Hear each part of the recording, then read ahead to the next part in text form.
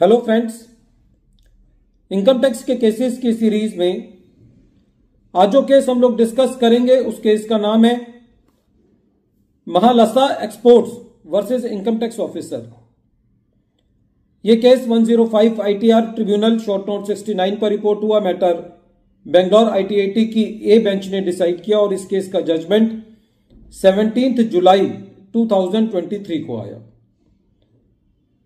इस केस के अंदर आईटीआईटी के सामने दो बहुत इंपॉर्टेंट इश्यूज़ सामने थे। जैसा कि हम जानते हैं कि एसएससी को कस्टम डिपार्टमेंट से ड्यूटी ड्रॉबैक मिलता है।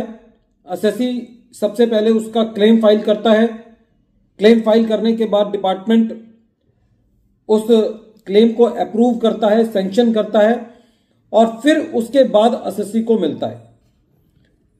इस बात में कोई दोराय नहीं था कि प्रेजेंट केस में एसएससी जो है वो अपना mercantile system of accounting follow कर रहा था। एसएससी ने जो अपना क्लेम फ़ाइल किया, वो फाइनेंशियल ईयर 2018 में फ़ाइल किया। लेकिन जो एसएससी को वो क्लेम अप्रूव हुआ और रिसीव हुआ, वो 2019 में हुआ।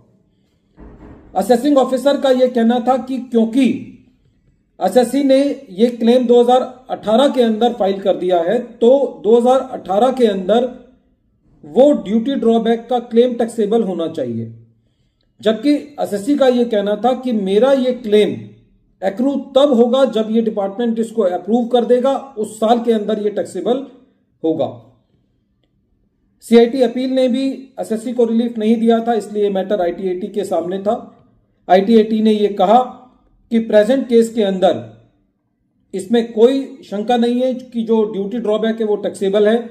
एसएससी ने 2018 में क्लेम फ़ाइल किया है। SSC mercantile system of accounting follow कर रहा है। तो जिस साल के अंदर एसएससी का वो क्लेम अप्रूव होगा कस्टम डिपार्टमेंट के द्वारा, उस साल वो टैक्सेबल होगा।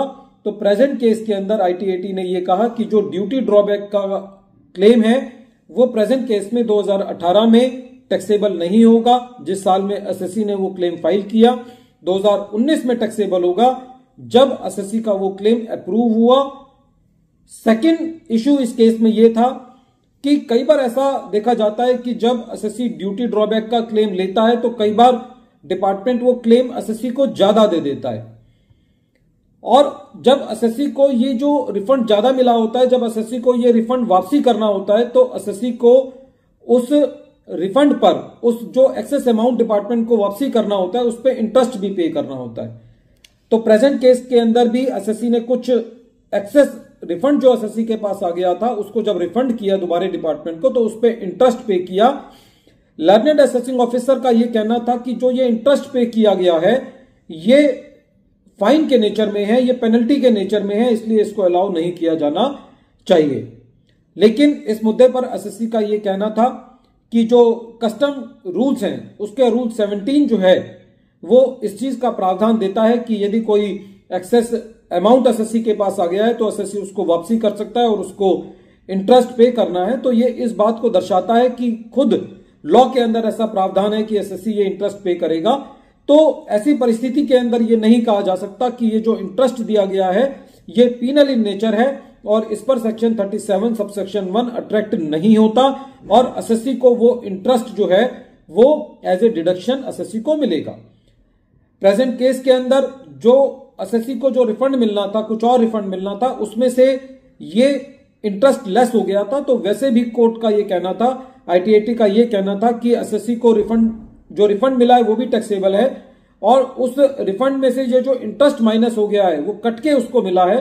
तो ऐसे केसेस में ये रेवेन्यू न्यूट्रल हो जाता है और एसएससी को जो इंटरेस्ट पे किया है एसएससी ने एक्सेस रिफंड पर, वो टैक्सेबल नहीं होगा और सेक्शन 37 सब सेक्शन वन के अंदर वो इंटरेस्ट अलाउ होगा।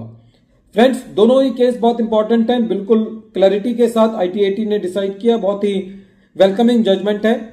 वीडियो के अंत में एक बार फिर मैं केस का नाम रिपीट कर रहा हूँ। केस का नाम है Mahalsa exports versus income tax officer और ये case 105 ITR tribunal, short note 69 पर रिपोर्ट हुआ। मैटर बेंगलोर आईटीआईटी की ए बेंच ने डिसाइड किया और इस केस का जजमेंट 17 जुलाई 2023 को आया। Thank you friends